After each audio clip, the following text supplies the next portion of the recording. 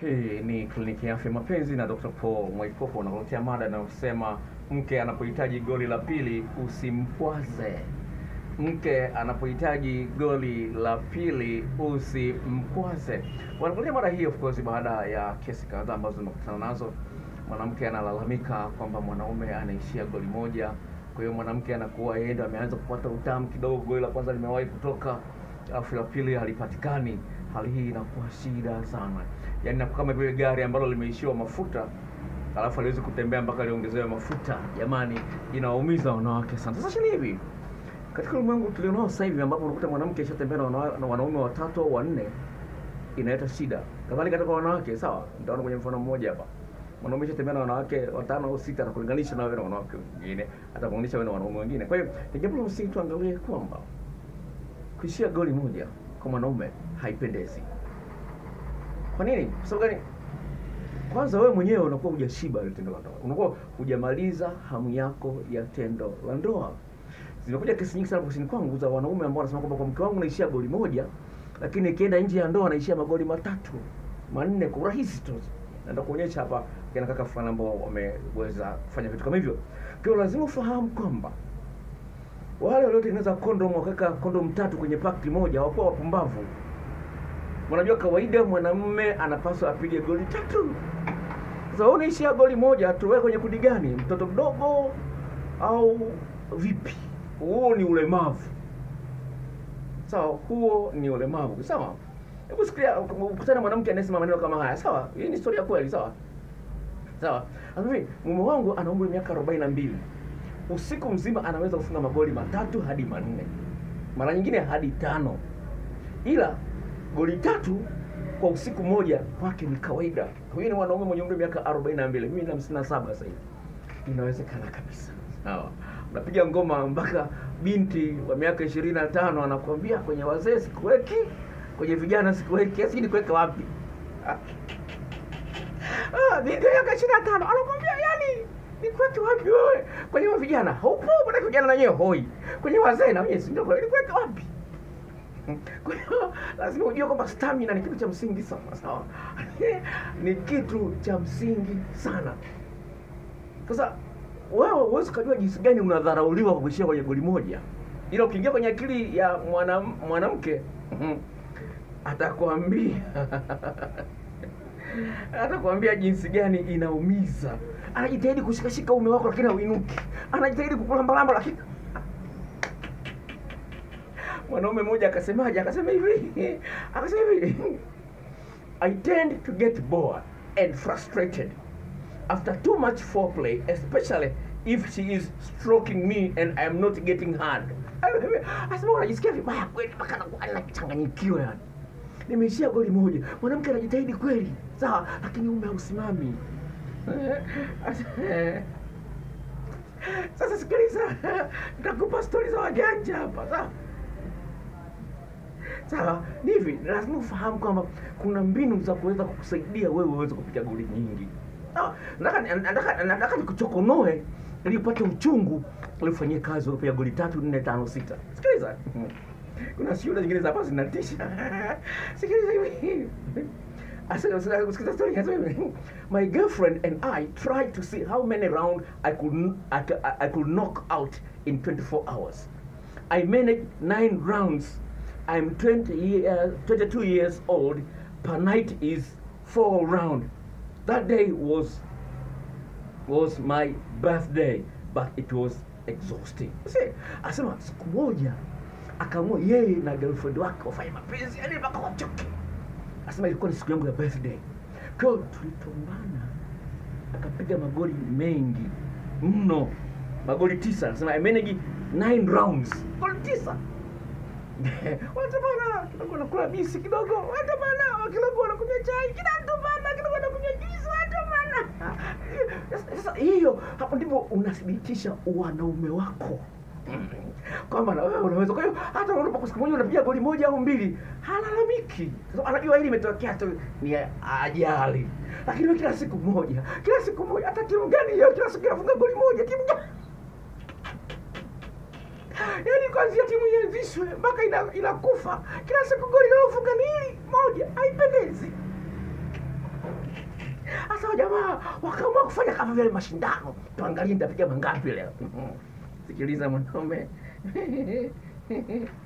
mwanaume mwingine analalamika, mwanaume anasema if my partner want more a woman's encouragement gets my refractory period to zero. Sikiliza, hii inakuwa inawagusa wanawake, sawa? Anasema Asema, asema kama mpenzi wangu wa kike anataka zaidi, raundi zaidi, lazima yeye ajue vitu vya kufanya.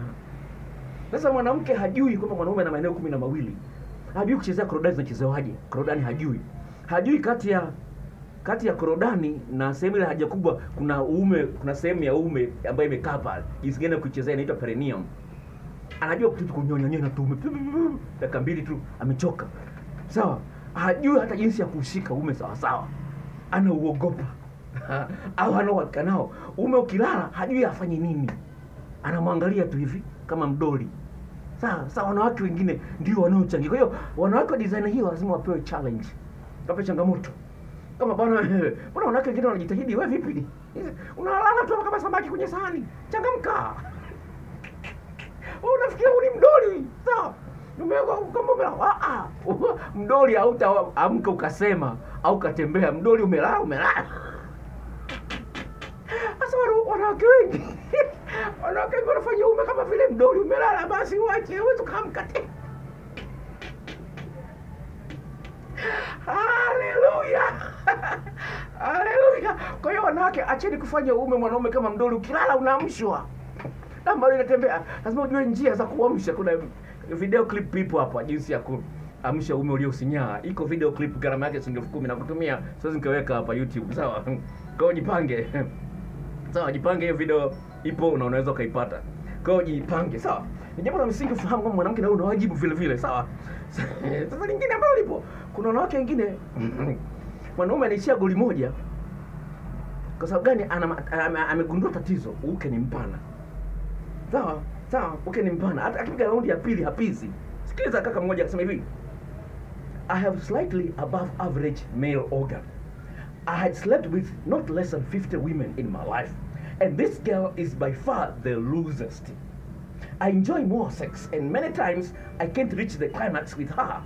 It is it is very frustrating because I am hard and there is no enough frictions or tightness.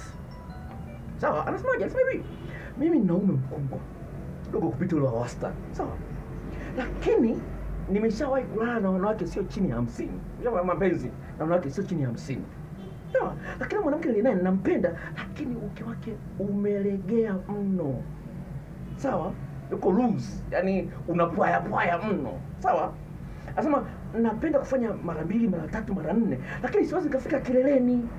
Sababu hakuna msuguano wa kutosha see, unaweza kuona jinsi gani ilivyo hii inaweza ikachangia mwana mwingine akawa anaishia goli moja sasa huyu amegundua tatizo sasa shida ni kwamba anaogopa kumwambia mwanamke kwamba uke wako ni mpana sasa utaambiwa hivyo, utashangaa tu mwanaume anataka kinyume na maumbile. Hiyo inatisha, haipendezi. Kwa hiyo jiongeze, jiangalie, jipime. Na video hapa jinsi ya kujipima uke wako kama ni mpana sio mpana, itafute. Iko kwenye chaneli hii. Sawa. channel hii, hii channel ina video zaidi ya elfu moja. Kwa hiyo ukitaka kujua uke wako ni mpana au sio mpana, kuna njia za kujua. Nimeziweka vizuri kwenye channel hii, tafute hiyo video ipo. Utaipata. Mhm. Sawa. Rafiki yangu mmoja alijiona akajipima, akaniambia, "Hello daktari nashukuru nimekuja kwenye standard." Sasa mmoja ujue jinsi ya kujipima. Kama unajua shauri lako, utakuwa unaomba kinyume na maumbile alafu si Sikiliza. Ah, I see. Okay. Okay, sasa sikiliza. Haya mambo yanaweza yakafanyika iwapo watu wawili wanashirikiana vizuri sana. Sawa? Sawa. Lakini jambo la msingi ufahamu kwamba kila mmoja anapenda afanye vizuri iwezekanavyo ili asifiwe. Unamsukua mwanamke mpaka zinatoka cheche. Hii ndio inavyotakiwa. Atakumbuka tu. Sawa? Hata kuna kitu nikiongea hapa, sawa? Sawa. Unajua nini? Napenda napenda ongea na wanawake sasa hivi. Sasa kidogo. Nini? unaweza ukawa na makosa mengine, unaweza ukawa na mapungufu mengine katika maeneo mengine, lakini utakavyoweza kumpizisha mwanamke mwanaume mara nyingi, utakavyoweza kumsaidia mwanaume akapizi mara nyingi na kwa mshindo mkubwa, atayasahau yale mapungufu yako. Unaweza kuwa sio mweupe, unaweza kuwa mnene, unaweza kuwa ni mfupi, unaweza kuwa hujasoma, unaweza kuwa huna hela kama mwanamke, una matiti makubwa. Sasa hao ni mapungufu. Kwa hiyo lazima katika eneo fulani ukifanya vitu vizuri zaidi, ya mapungufu hayaangalii tena. Kwa tusio tu kulalamika, tujiongeze, tujibidiishe ili tuendeze mapenzi yenye utamu wa kutosha. na wanaume wenzangu sawa kama tatizo la kuwahi kumaliza unaishia goli moja tambua kwamba umeshakuwa kimeo nayo dawa na hizo shilingi elfu itakusaidia Usiseme tu biashara imeshasaidia wengi. Ah, Tembea kwenye kwenye blogu yangu itaweza kusaidia kuweza kuyasoma. Na blogu mbili. Kuna moja inaitwa kumbatiapenzi.blogspot.com. Ya pili inaitwa mfalme wa mapenzi usiachanishe maneno mfalme wa mapenzi.blogspot.com. Tafuta kwenye hiyo blog. Utaona maelezo nayokupa ni uhakika. Sawa? Nikusomea message moja ya ya kaka mmoja kaka mmoja. Anasema daktari, siku hizi hata raundi ya kwanza na yani nachelewa mpaka mwanamke ananiambia umeninywea dawa nini? Yaani umeamua kunikomoa. Yaani umeamua kunikomoa raundi tu ya kwanza anachelewa basa. Sasa kuna mbinu kama una tatizo la kuwahi unachelewa una sana kumaliza, kuna mbinu za kuweza ku pisi haraka sawa. Hayo yote yanatoka kwenye kliniki ya Fombezi. Tuwasiliane kwa namba ifuatayo sawa, sifuri saba tano nne sifuri tatu tisini na tisa tisini na nne. Nitarudia sifuri saba tano nne sifuri tatu tisini na nne. Wewe nimekuahidi video yako, ni wewe unaangalia, nikwambia leo nitakupa video yako, lakini ni- imechelewa kidogo, sawa. Nimepeleka kufanyiwa editing, kwa hiyo wewe ambaye unaangalia video hii, nilikuahidi video yako inakuja, na hiyo video inaitwaje? video hiyo inaitwaje? inaitwaje? Hebu nikumbuke. Eh, yana inakuja kwa vile nimeshasahau hata madaka, lakini cha msingi kuna video ambayo nimeiandaa ambayo inakuja. Kwa hiyo kama hujajisajili, jisajili, sawa. Kuna video ambayo nime, nimeiandaa tayari iko kwa nani, kwa mafundi wanafanyia editing hapo, ni tam kabisa. Kwa hiyo jisajili, sawa. Kuna kiboksi chekundu pale kimeandikwa kwa maandishi meupe subscribe, bofya pale, yatakuja maelekezo ili uweze kuipata video hiyo haraka iwezekanavyo. Ni video ambayo nimeiandaa leo na nime iko tayari eh, iko tayari mitamboni. Barikiwe, love you, bye.